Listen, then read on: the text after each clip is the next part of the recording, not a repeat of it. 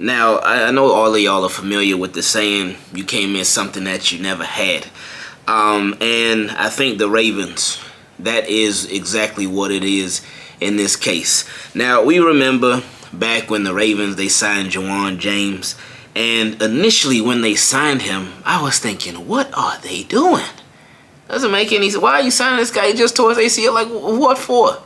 But then they showed the breakdown of the contract and how this year was basically just a $500,000 roster bonus. And that was it. And then next year, it's it's like a steal too, especially if he can come back and play and start. And even if he would have played this year, it still would have been a steal and it still would have been relatively cheap. Uh, and I was like, oh, okay, all right, super low risk, potential high reward. Even if you don't get a high reward, it's a super low risk. Salary ain't nothing crazy. I I get it. So they signed him, and I was thinking, and we said in a couple videos, right, anything that we get out of Ja'Wuan James, anything we get is a bonus. If, if they could get anything this year from Ja'Wuan James, it should be considered a bonus. So what happened? A couple weeks ago, Ravens were like, oh, Ja'Wuan James is practicing. They designated him to return and to start practicing. And I was like, oh, oh, okay now. I ain't want to get my hopes up, but I was still like, oh, okay. He's practicing? What could it, could it mean something? It could. Well, it also couldn't. But I was like, all right, well, hey, that's a step. And if Ray, and, and John Harbaugh had said uh, earlier in the season, he said with Ja'Wuan James, we could maybe get him back in December. And I was like, okay, I ain't believe him. I thought he was just talking, talking, talking. But he ended up practicing in December. Uh, but the Ravens, they um, they they they put him back down. Um, and well, I don't want to say put him back down, but they they they, they took him off the roster, and he uh, he's going back to the non-football injury list. Uh, so with that being said, um, his season it's over before it even got started. And it was a long shot with Ja'Wuan James. It was, it was a super long shot and we like the Ravens. They couldn't have been dependent on him. Uh, they, it wasn't like all right, hey, uh, Ja'Wuan James, if he plays this year, that will either make or break our season. No, it wasn't anything like that. It was always a luxury. I mean, by the way, the offensive line has been for the most part. I don't think it's a luxury, but uh, it, it, it was always considered, like I said, a bonus if he would have gotten to play this year. But of course, he didn't and the Ravens, um, the offensive line, now they have been better uh, over the past couple of weeks, but at the same time, uh, the play calling has also been better as well. But that's a whole nother conversation for a whole nother topic.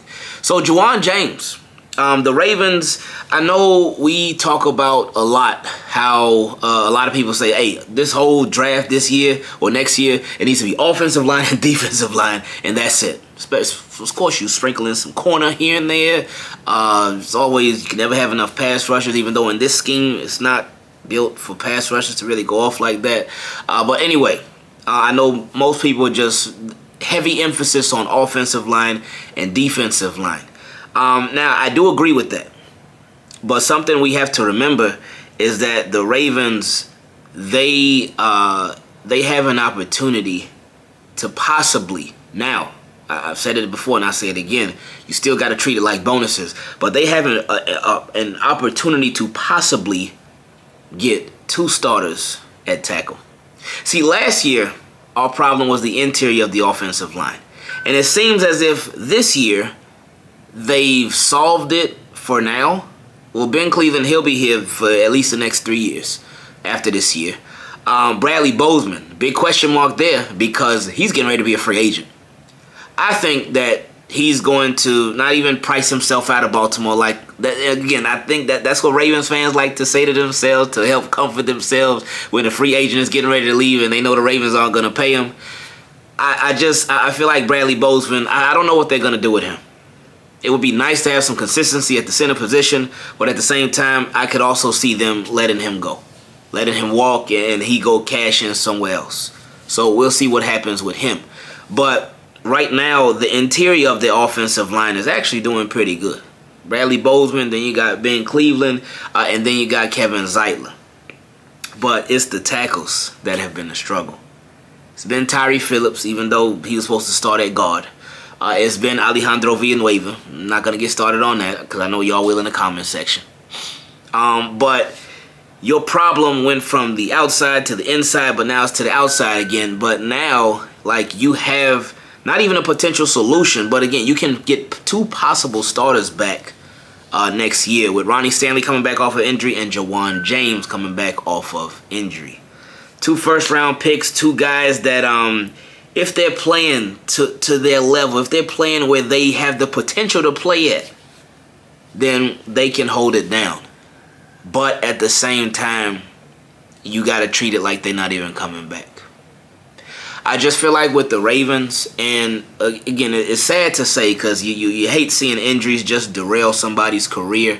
But with the Ravens, with both Ja'Wuan James and Ronnie Stanley, I feel like both of them would be bonuses. Both of them. If you get anything out of them next year, great, amazing, awesome. But I feel like the Ravens, they have to plan like those guys aren't even coming back. First round pick at tackle, I, I don't know about all that. I, I probably wouldn't do that. Second round, we talking. Third round, we definitely having a conversation. First round, though, I don't know about that part. But I feel like they have to address the tackle position early. And, and, and not even necessarily that, all right, we got to get a tackle in the second round. We got to get a tackle in the third round. Well, you need to get a quality guy. You need to get a quality guy that can come in and play that has heart as well at the tackle position. Um, and, and they, cause they just, it can't, you can't just rely on Ronnie Stanley. Sure, he's, he's gonna come back and whatnot. That's great. But what's gonna happen if you don't have a backup option and he goes down again? Cause that his ankle, like his his ankle, is what holds him up, and is he he's had problems with his ankle. I, I, heard somebody say before he got it cleaned up and he ain't really have a he ain't had the procedure to really go all in and, and really fix the issue. But this procedure that he recently had, that was to really fix it. And you hope that all right, everything goes super smooth. But you just you can't rely on him. So you need to plan uh, as if he's not coming back. And Ravens, they, they got to be really, really smart about it. Really, really smart about it. Because you don't want to find yourself, and I, you don't expect any season to go like this. Like, because this has been crazy. You don't expect the season to go like this, but you um you got to plan the best that you can. The best that you possibly can. Um, so it just it is what it is. And of course, again with with Ja'Wuan James, same thing. You can't fully rely on him to come back, and you just and it's good that he's practicing. So that's a great sign. Great sign. So he's ahead of schedule and all that, and well, not really ahead of schedule. He's kind of on schedule because Harbaugh did say December. So he's on schedule, but that that shows that all right, he'll be ready come training camp and all that good stuff, OTAs. All, he'll be ready. So that's great. Um, but you you just you you still have to have a plan in place, a just in case option. Uh, so it's important that the Ravens they they take care of that. So again, um, it would have been nice to to have Ja'Wuan James on the squad this year, but we uh we we, we get it, we get it, we we understand it. This was a, a there would have been a nice little bonus, but the fact that uh, he won't be playing is it doesn't come as a, a shock or anything like that. I feel like most people, uh, including myself, never really expected him to play this year. Uh, and if he would have played, oh great, awesome, but it, it wasn't in the expectation. So, like Ja'Wuan James is and um, has been, and now for the rest of the year is officially I'm out.